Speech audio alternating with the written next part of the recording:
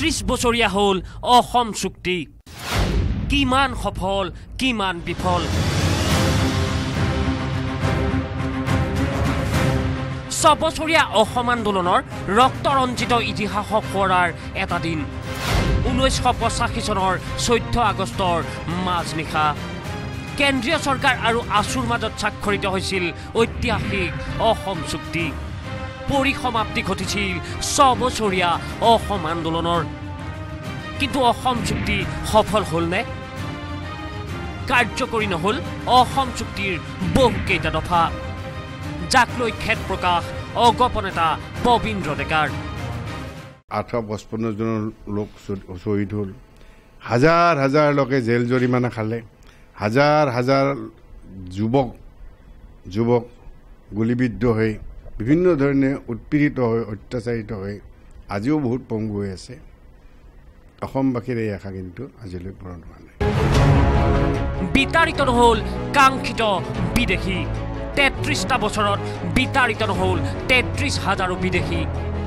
অসম চুক্তি স্বাক্ষৰকাৰীৰ অন্যতম অগপ নেতা বিৰাজ শৰ্মাই প্ৰকাশ কৰিলে খেদ।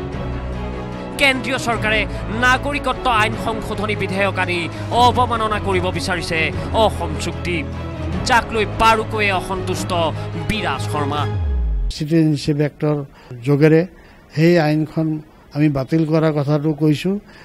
এইটো এইটো আইন যদিও বাতিল কৰাৰ কথাটো আমি কৈছোঁ তেওঁলোকে এতিয়াও সেই আইনৰ কথাটো এতিয়াও তেওঁলোকে কৈ আছে যে অহা মনচুন ছেশ্যনত উইণ্টাৰ ছেশ্যনত এইটো অনা হ'ব বুলি যিটো তেওঁলোকে কথাবিলাক কৈ আছে সেইটো কথা তেওঁলোকে আৰু ক'ব নালাগে।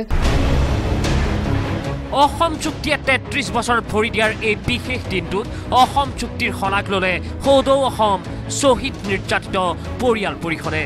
তেত্ৰিছ বছৰ মূৰত অসমৰ ৰাইজে পাইছে শুদ্ধ নাগৰিকপঞ্জী আৰু সেই নাগৰিকপঞ্জীৰ জৰিয়তে অসমত বিদেশী কিমান আছে সেইটো চিনাক্ত হ'ব।